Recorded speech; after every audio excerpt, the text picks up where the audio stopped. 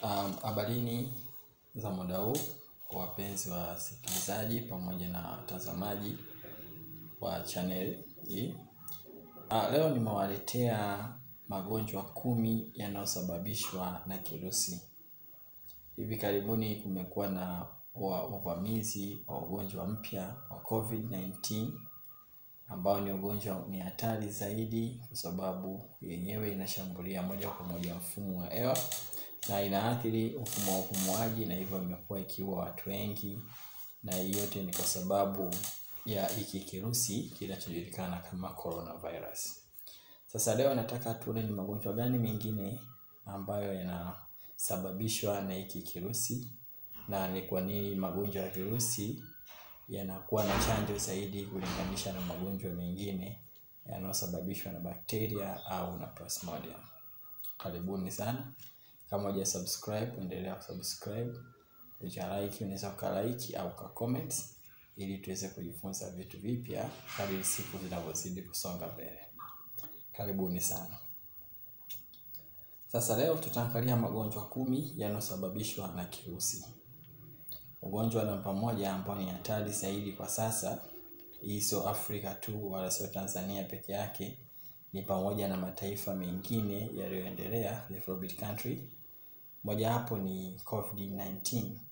Ugonjwa huu unasababishwa na kirusi ambacho kinajulikana kama coronavirus, ambapo ni ugonjwa umekuwa hatari kwa sababu mpaka sasa wataalamu, watafiti wanaendelea kusoma zaidi na kutengeneza chanjo ambayo tutaweza kujikinga wengi na kuepukana na huu ugonjwa zaidi.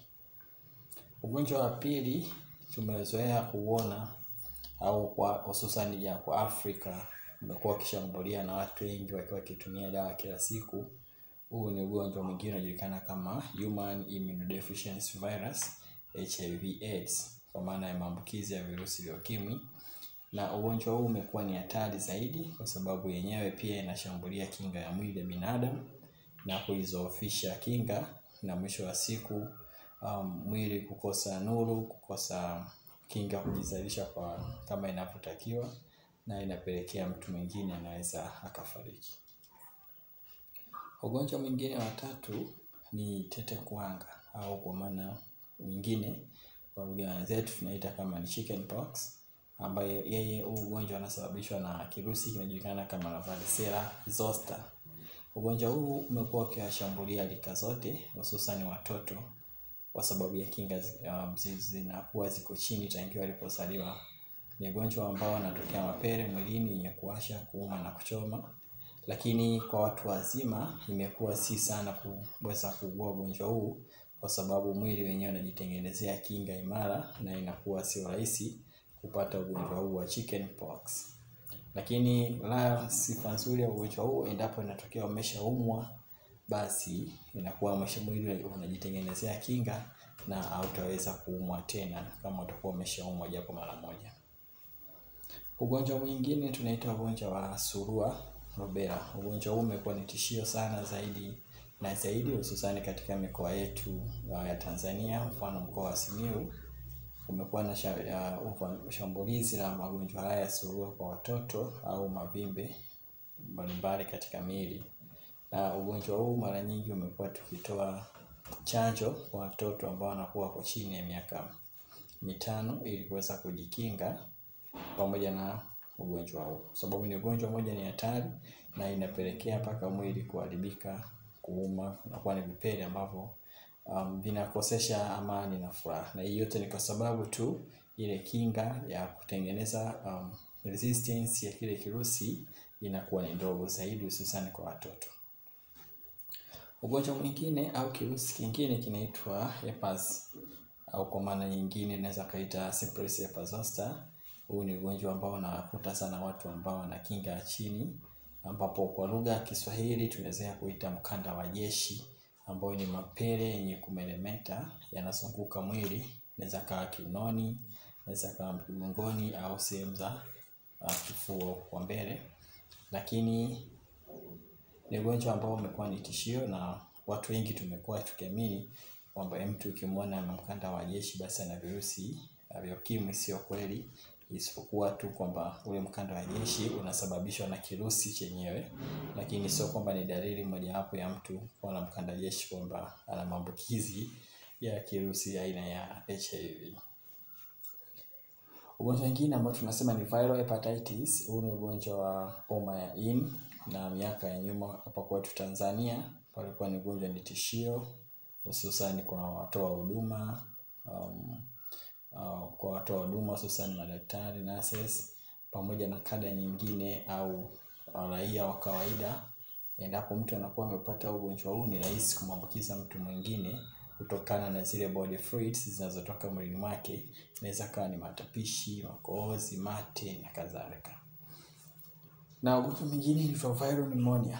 Viral pneumonia sasa unakuwa unafanana na huu ugonjwa unaitwa COVID-19, hazina tofauti ambazo zenyewe zinakuwa zinasababishia mtu kukosa hewa na wakati mwingine anaweza akafariki kwa sababu anakosa ile yale mapafu au oksijeni ya kutosha kwenye mapafu zaidi. Na ugonjwa mwingine unaitwa viral gastroenteritis au stomach flu.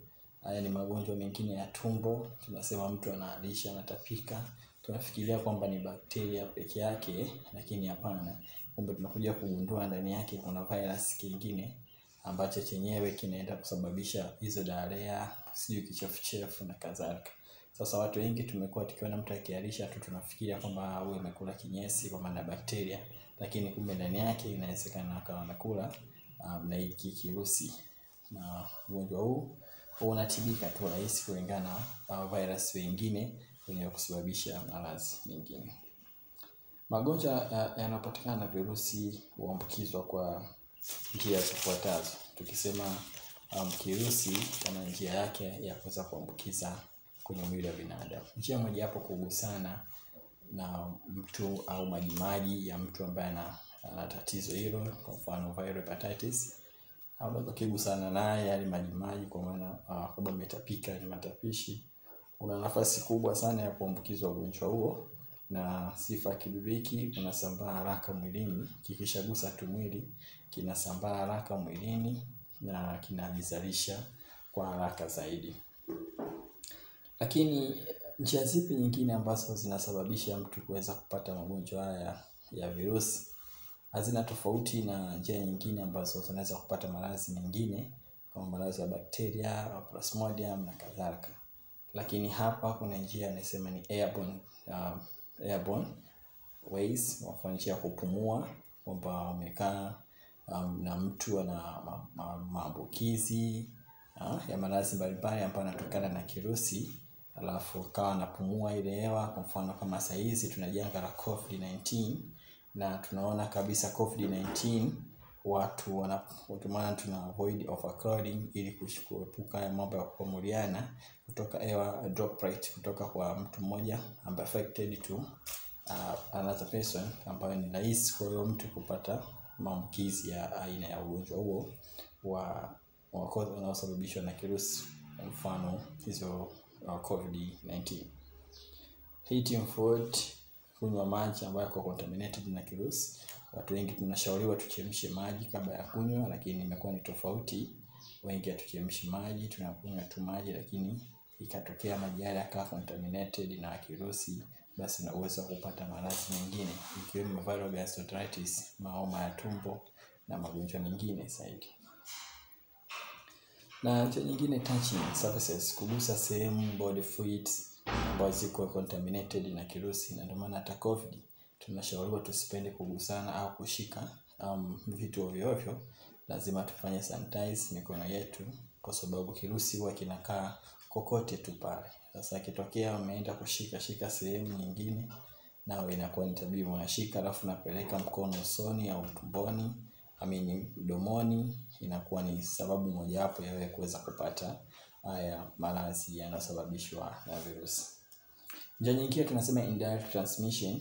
Hii tunasema from one person to another by virus host, yani uh, tuna wadudu wanakuwa ni wadudu wengine wasaidizi kuweza kutransmit kirusi kutoka kwa mtu mmoja kwenda kwa mtu mwingine. Kwa mfano mbu, tumejua mbu anakuwa mbeba plasmodium, lakini mbu pia anaweza kutumika kama host, ndani yake akakibeba hiki kirusi ambacho kimetoka kwa mtu mwingine na kaweza kumwambukiza. Au wakati mwingine tunaita ticks au wadudu wanaotambaa tambaa wanarukaruka. Wanaweza akachukua ma infections kutoka sehemu kwa mtu mmoja kwenda kwa mtu kwa mtu mwingine. Lakini kuna njia nyingi. Kirusi kama kirusi huwa tunashauriwa kupata chanjo. Na kuna magonjwa mengine yanatibika yanapona kabisa lakini kuna baadhi ya maradhi hayawezi kutibikwa na ndio maana huwa tunashauriwa kupata chanjo tangia wadogo. Mfano kama kuna machanjo huko tunapewa kwa mfano wanawake wanapata chanjo ya HPV kwa ajili ya kuwakinga na saratani ya shingo ya kizazi. Na kuna chanjo nyingi ambazo zinatolewa kwa ajili ya kukinga hiki kirusi. Na ndio maana hata sasa um, serikali ya Jamhuri ya Muungano wa Tanzania nayo imeweza kupokea chanjo kutoka mataifa yaliyoendelea kwa ajili ya kuruhusu watu wake waweze kupata chanjo, kwa sababu hiyo ndio sifa mojawapo ya hiki kirusi kwamba huwa hakifi mwilini haraka, na ndio maana kinatolewa chanjo ili mwili wenyewe uweze kujitengenezea kinga, na hata kama kitamkuta binadamu basi kiwe na mapigano baina ya ile chanjo na kile kirusi kipya kitakachokuwa kimeingia mwilini. Nitoe wito tu, magonjwa haya ni hatari kama nilivyokutajia, ni hatari na yana um, yanashambulia sana kinga ya mwili, na kuna baadhi ya magonjwa yanashambulia kwa njia ya sexual intercourse, kwa mfano kama HIV. Magonjwa haya yanaambukizwa kwa njia ya kujamiana, um, kwa njia ya kushare needles, njia ya kushare um, wanatumia pet ereni hawa dada zetu mfano sasa ile damu kwa damu ikikutana inasababisha hiki kirusi kuweza kujizalisha kwa wingi na kuwa sembu kuna sehemu mbalimbali za mwili. Nitoe wito tu, tuchukue tahadhari, tufanye um, medical check up mara kwa mara ili kuweza kujiweka salama afya zetu sisi na vizazi vyetu. Mungu awabariki, naomba uendelee kusubscribe, like, comment, share ili na wengine waweze kujifunza zaidi zaidi kuhusiana na haya maradhi. Asante.